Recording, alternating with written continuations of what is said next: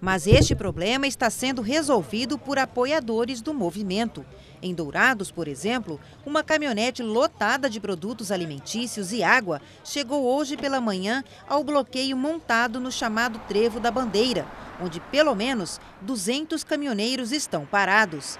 Além de pão, os apoiadores entregaram principalmente frutas, como laranjas, maçãs e bananas, tudo para garantir que os bloqueios continuem por tempo indeterminado.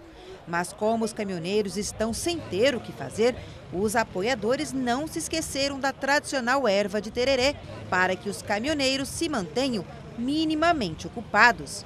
A ajuda veio de todos os lados.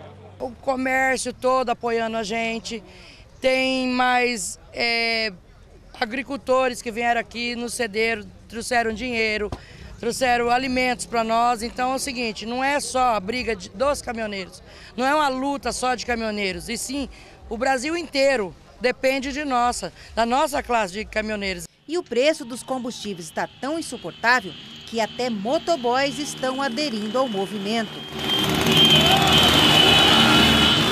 Até motoristas de caminhões de pequeno porte estão sendo barrados na região urbana de Dourados. Este aqui simplesmente não aceitou ser barrado e jogou o veículo sobre os manifestantes.